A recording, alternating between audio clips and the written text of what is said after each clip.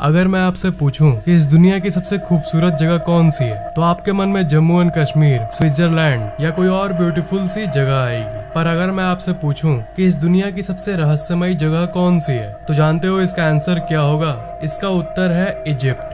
आज से करीब 4000 साल पहले इजिप्शियन लोग इजिप्ट में राज करते थे। ये लोग अपने समय में बहुत ही सुंदर कलाकृतियों का निर्माण किए थे, पर इन कलाकृतियों के साथ साथ ये कई रहस्यों को भी पीछे छोड़ गए। एलियंस का होना, पिरामिड का आसमान के तारों से अलाइनमेंट पिरामिड के अंदर एक नेचुरल एसी होना, जो कि टेम्परेचर को 20 डिग्री रखती है। ये सब ऐसी चीज़ें हैं, जो आज भी वैज्ञानिकों को चैन की नींद नहीं सोने देती। सबसे बड़ा रहस्य ये है कि ये लोग ऐसी स्ट्रक्चर्स को कैसे बिल्ड कर लिए? और ऐसी स्ट्रक्चर्स मतलब यहाँ सिर्फ़ पिरामिड ही नहीं, बल्कि और भी बहुत सारे अनबिलीवेबल स्ट्रक्चर्स के बारे में भी बात हो रही। है क्या इन स्ट्रक्चर्स को अकेले ही इन लोगों ने बनाया है, या फिर पिरामिड्स इजिप्ट के पिरामिड्स ये मास्टरपीस है और ये दुनिया की सबसे फ़ेमस जगहों में से एक है। पिरामिड को बहुत सालों से स्टडी किया जा रहा है। हर टेक्नोलॉजी से इसे समझने की कोशिश की जा रही है। पर आज तक इसकी मिस्ट्री किसी ने सॉल्व नहीं कर पाया। इन्होंने एक एक पीस को एक साथ कैसे लाया और इन्होंने किस तरह का कॉन्क्रीट का इस्तेमाल किया और ये इतने परफेक्टली अलाइंड कैसे हैं? बिना मशीन और टेक्नोलॉजी के ऐसे स्ट्रक्चर्स बनाना तो साइंटिफिकली इम्पॉसिबल है। सिर्फ़ एक पिरामिड के अंदर ही तेईस लाख लाख लाइमस्टोन के ब्लॉक्स का इस्तेमाल किया गया है। इन पत्थरों को एक जगह से दूसरे जगह मूव करना ही इतना मुश्किल है। तो इसे एकदम परफेक्ट पोजीशन पर लाना तो दूर की बात है, पर इन्होंने इन दोनों चीज़ों को किया।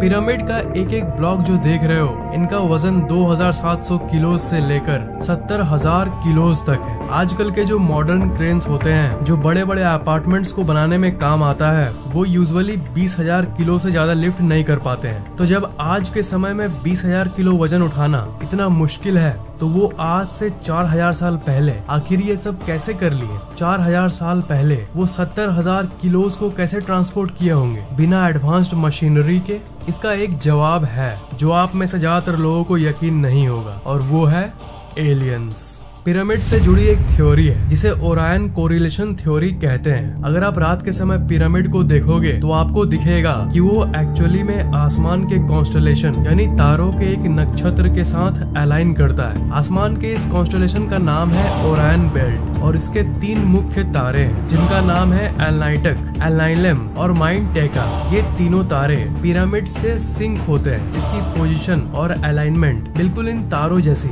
इस इम्पॉसिबल सी चीज़ को देखकर बहुत सारे थ्योरिस्ट ये मानते हैं कि पहले के समय में एलियंस धरती पर आए थे और अपने साथ एडवांस्ड टेक्नोलॉजी लाए थे और इन्हीं की हेल्प से इस इम्पॉसिबल सी पिरामिड को इन्होंने बनाया और ये एलियंस इन्हीं तारों से आए थे।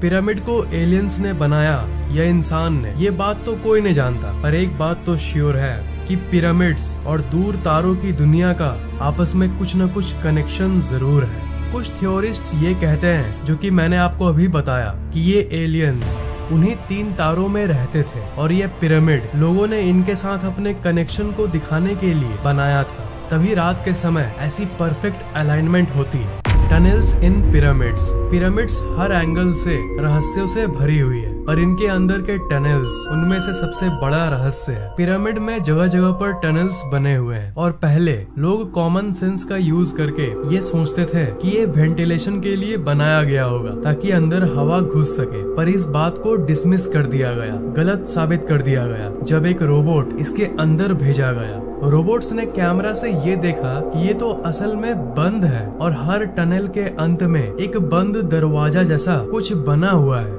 तो ये आखिर वेंटिलेशन के लिए कैसे बन सकता है? पिरामिड के अगर सारे चैम्बर्स की बात करें तो इसके अंदर टोटल तीन डिस्कवर्ड चैम्बर्स हैं। ये जो आप देख रहे हो, ये है बेस चैम्बर और ये है क्वींस चैम्बर और सबसे ऊपर है किंग्स चैम्बर। अगर आप ऊपर वाले इस रास्ते से एंटर करोगे, तब आप अंदर ही अंदर इन तीनों को एक्सप्लोर कर सकोगे और अगर नीचे राइट वाले इस पार्ट से एंटर करोगे, तब भी आप तीनों को एक्सेस कर पाओगे। पर फैक्ट ये है कि आज तक इन्हें कोई ठीक से एक्सप्लोर नहीं कर पाया। ध्यान दीजिएगा, मैंने कहा डिस्कवर्ड चैम्बर्स मतलब इसके अंदर और कितने चेम्बर्स होंगे, ये कोई भी नहीं जानता। और ये भी माना गया है कि ये टनल्स इसलिए बनाए गए थे, क्योंकि उस समय के लोग ये मानते थे कि अगर किंग यानी राजा की बॉडी को अगर इस चैम्बर में रखा गया और ये शाफ्ट बनाया गया तब उनकी आत्मा, उनकी सोल आसमान के इन तारों की तरफ़ जाएगा। इसे पिरामिड का स्टार शाफ्ट थ्योरी भी कहते हैं। जब इस क्वींस चैम्बर के अंदर रिमोट कंट्रोल कैमरा को भेजा गया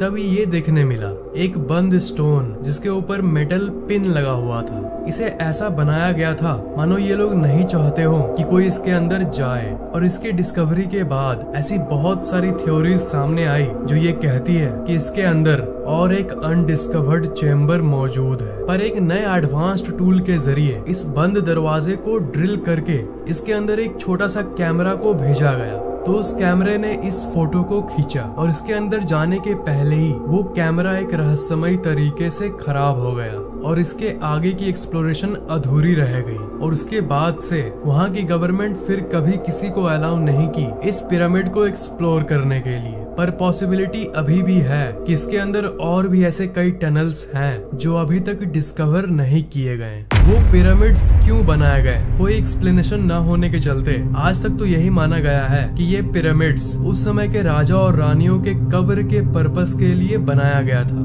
वो राजा रानियों का कब्र था। मम्मी के बारे में तो कभी न कभी आपने ज़रूर सुना होगा। तो जो लोग राजा रानी के कब्र वाली बात को मानते हैं, वो लोग ये कहते हैं कि उस समय के राजा रानियों के शरीर को ममिफिकेशन के प्रोसेस के ज़रिए बॉडी को मम्मी बनाकर उसे कब्र में रखा जाता था। मरे हुए बॉडी को लाइनेन नाम के एक फैब्रिक में बांधकर कब्र में रख दिया जाता था। पर अजीब बात यह है कि अगर आप पूछो कि आज तक कितने बॉडीज कितने मम्मी पिरामिड में मिले हैं तो इसका आंसर है ज़ीरो जी हाँ आज तक एक भी मम्मी पिरामिड में नहीं मिला। पिरामिड को अभी तक पूरी तरह से एक्सप्लोर नहीं किया गया है। पर जितना एक्सप्लोर हो चुका है, उसकी बात करें तो सारे टॉम्ब बिल्कुल खाली थे। और उसके ऊपर कोई टेक्स्ट भी नहीं लिखा हुआ था, जो कि जनरली उस समय के बाकी जगह पर टॉम्ब्स पर लिखा जाता था।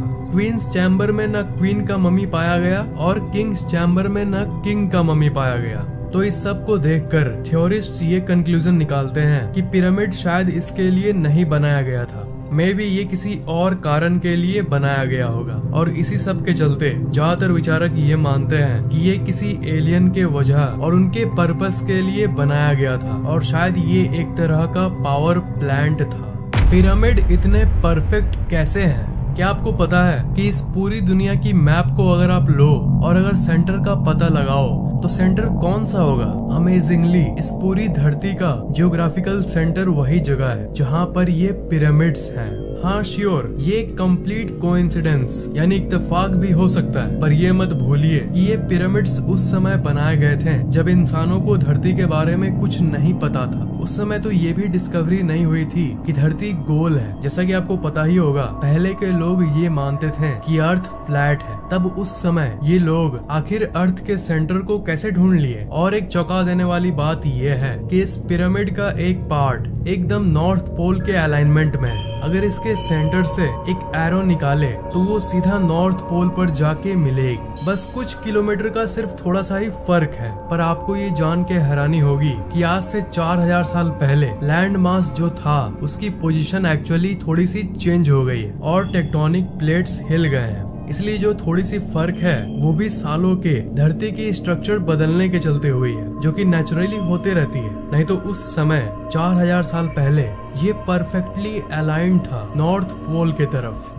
Pyramid stones. आपको क्या पता है कि जिन पत्थरों से पिरामिड बनाया गया था, वो किसी आम पत्थर से लाखों गुना ज़्यादा मज़बूत है। और साइंटिस्ट्स इस पत्थर को बहुत एनालाइज किए हैं। और क्या आपको यकीन होगा कि साइंटिस्ट्स को आज तक नहीं पता चला कि एग्जैक्टली exactly ये है क्या? ये लाइमस्टोन की तरह है, पर लाइमस्टोन है नहीं। साइंटिस्ट्स ऐसे पत्थर धरती पर और कहीं भी नहीं पाए पिरामिड कंस्ट्रक्शन टेक्नोलॉजी पिरामिड की कंस्ट्रक्शन की और सबसे अजीब बात ये है कि इन्हें बनाते समय ball and socket construction type का इस्तेमाल किया गया था। बॉल एंड सॉकेट एक ऐसा मेथड है जो कि हीट एक्सपेंशन झेल सकता है। यानी गर्मी के चलते जब पत्थर थोड़ा बड़ा हो जाता है, उसे भी ये झेल लेता है। और ये ball and socket construction type actually में अर्थ क्वेक यानी भूकंप को भी झेल सकता है। सोचिए शॉक प्रूफ टेक्नोलॉजी वो भी 4000 साल पहले। Natural air conditioner inside pyramid Egyptian desert जो है, जो कि पिरामिड के करीब है, वो बहुत ही ज़्यादा गर्म इलाका है। और गर्म हवाएँ वहाँ चलती रहती है। पर इन सब के बावजूद भी उस समय पिरामिड को ऐसे बनाया गया था, एक ऐसे रहस्यमय तरीके से बनाया गया था कि चाहे बाहर की टेम्परेचर कितनी भी हो, पिरामिड के अंदर की temperature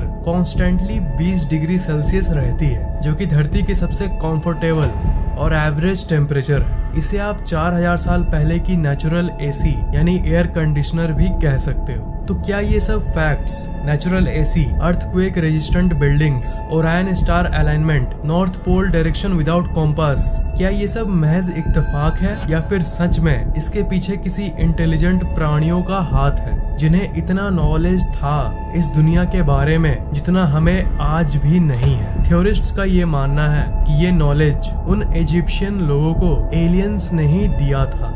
Alien drawings in Egypt Egypt में जितने भी घूमने वाली जगहें हैं, उन सब में आपको ऐसे ऐसे ड्राइंग्स मिलेंगे। इस ड्राइंग के अंदर आपको कुछ दिख रहा है? जी हाँ ऐसा लग रहा है कि ये कोई एरोप्लेन का ड्राइंग है और कई जगहों पर तो लिटरली ऐसे ऐसे कार्विंग्स बने हुए हैं, जिसमें आपको ऐसे क्रीचर्स देखने को मिलते हैं। जिनकी बड़ी आँखें हैं, बड़े सर हैं और हाइट छोटी है। बिल्कुल एक मॉडर्न एलियन डिपिक्शन की तरह। इस कार्विंग को देखो, इसे देखकर आपको किसी की याद आती है। ये एक्चुअली एक मॉडर्न एलियन स्पेसशिप की डिपिक्शन है। इसलिए कुछ लोग ये भी मानते हैं कि इन पिरामिड्स को सोलली अकेले ही एलियंस ने ही बनाया था और इसमें इंसान का कोई हाथ नहीं था। ये थ्योरी कितनी सच है, इसका अंदाज़ा तो एक्यूरेटली कोई नहीं लगा सकता।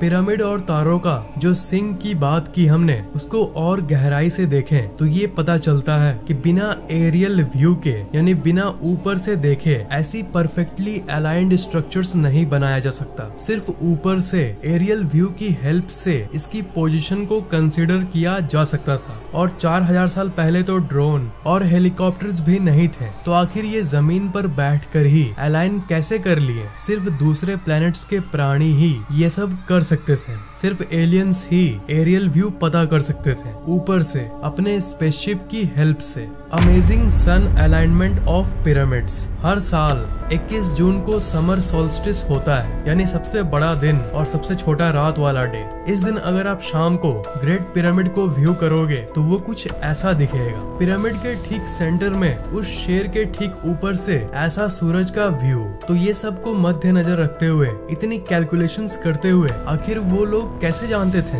एक चीज़ इतफाक हो सकता है, पर ये स्ट्रक्चर्स इतनी सारी इत्तेफाक अपने अंदर रखती है कि इसे हम इतफाक नहीं कह सकते। ये श्योरली बनी बनाई योजना थी। तो इसलिए ज़्यादातर थ्योरीज ये कहती है कि उस समय दूसरे दुनिया के एलियंस ही इतने कॉम्प्लेक्स कैलकुलेशंस कर सकते थे। उनके पास ऐसी नॉलेज और ऐसी टूल्स थी जो आज के आधुनिक साइंस के पास भी नहीं है। डेंडेरा लाइट इजिप्ट में एक डैंडेरा नाम की जगह है। वहाँ पर एक टेंपल यानी मंदिर है, जिसका नाम है डेंडेरा लाइट कॉम्प्लेक्स इजिप्ट में रहने वाले लोगों ने इस टेंपल को अपने एक भगवान के लिए बनाया था, जिनका नाम था हैथौर और ये मंदिर इजिप्ट के सबसे रहस्यमय मंदिरों में से एक है। इस मंदिर के मैप को देखो। यहाँ पर आप एंट्रेंस को देख सकते हो। तो इस मंदिर का आधा पार्ट पहले सैंड से ढका हुआ था, पर 1850 के आसपास इस कॉम्प्लेक्स को पूरी तरह से साफ़ कर दिया गया और उसके अंदर से बहुत सारे दफन हुए राज सामने आए। जब उस एंशियंट रूम को पूरी तरह से क्लीन कर दिया गया, तब साइंटिस्ट को ये देखने मिला,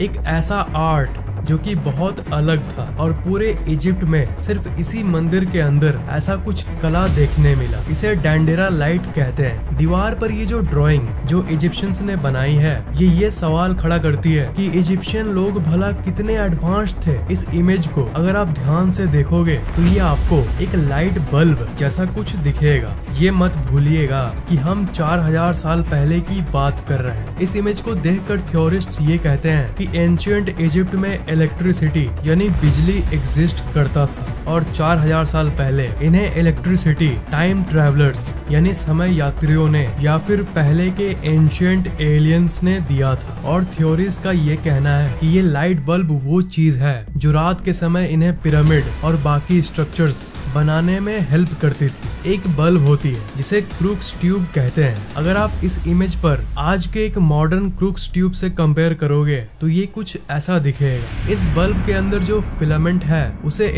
इजिप्शियंस ने एक सांप से दर्शाया है और इसके एंड में इस जगह एक लोटस फूल बना हुआ है, जो कि एक मॉडर्न सॉकेट को दर्शाता है, जो कि असली बल्ब में होता है और नीचे एक वायर तार आ रही है, जो कि एक बॉक्स में लगी हुई है, जहाँ से बिजली आ रही है। और ये जो इंसान है, ये एक डेंजरस सा टूल लिया हुआ है, जो कि ये दर्शाता है कि ये बल्ब आपके लिए जानलेवा हो सकता है। अगर आप इसे सही से इस्तेमाल ना करो, सही से इस्तेमाल नहीं किया गया तो आपको करंट मार सकता है। आपको शॉक लग सकती है। स्विट्जरलैंड में एक मिस्ट्री पार्क है। वहाँ पर बिल्कुल इसी चीज़ का एक मॉडल रखा गया है। तो इस फ़ोटो से आप अंदाज़ा लगा सकते हो कि उस समय की लाइट बल्ब वाली बात अगर सही है तो वो कैसी दिखती होगी। चार हज़ार साल पहले लाइट बल्ब टेक्नोलॉजी और electricity it's really shocking the great sphinx pyramid के बारे में आपने स्कूल में ज़रूर पढ़ा होगा, या उसकी फ़ोटो को एक न एक बार ज़रूर देखा होगा। तब ज़्यादातर पिरामिड के पिक्चर्स में आप इसको ज़रूर देखते होंगे। इसे द ग्रेट स्फिनिक्स कहते हैं। ये एक ऐसा स्ट्रक्चर है, जिसका चेहरा तो इंसान का है, पर शरीर इंसान का नहीं है। किसी तरह का एलियन म्यूटेंट क्रिएचर जैसा।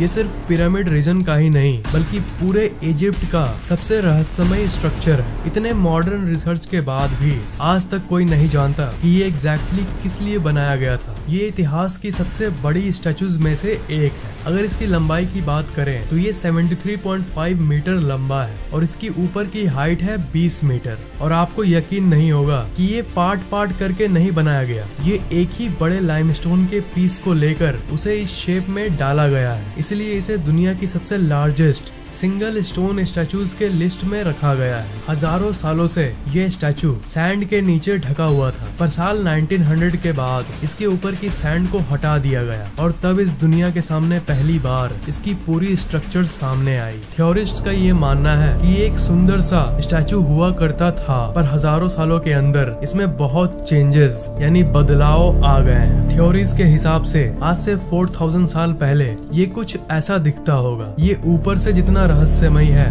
वो तो कुछ भी नहीं है। असल मिस्ट्री तो इसके नीचे अंडरग्राउंड में है। शुरू में ग्राउंड रेडार से ये पता चला कि इसके अंदर दो कैविटीज है, यानी दो खाली जगह है। ये बिल्कुल आजकल की मॉडर्न शहर की अंडरग्राउंड सिस्टम जैसा है। साल 1995 में, जो वर्कर इस चीज़ को रेनोवेट कर रहे थे, उन्होंने एक्सीडेंटली बहुत सारे टनल्स को डिस्कवर किया। उनमें से दो टनल्स सीधा सीधा इस स्टैचू के नीचे जा रही थी। ये सब डिस्कवरी हमें ये बताता है कि इसके नीचे एक पूरी की पूरी दुनिया छिपी हुई है, जो कि आज तक अनदेखा है। आज भी पिरामिड्स को एक्सप्लोर करना बाकी है और कोई भी फर्दर रिसर्च जैसे ही होगी, पिरामिड्स के ऊपर कोई मम्मी मिलेगा या फिर कोई और रहस्यमय टनल मिलेगा, उसकी अपडेट मैं आपको न्यू वीडियो में ज़रूर दूँगा। आपको ये वीडियो कैसा लगा, नीचे कमेंट ज़रूर करना। वीडियो को लाइक और शेयर करना और अगर आपने अभी तक सब्सक्राइब नहीं किया है तो सब्सक्राइब ज़रूर कर लेना।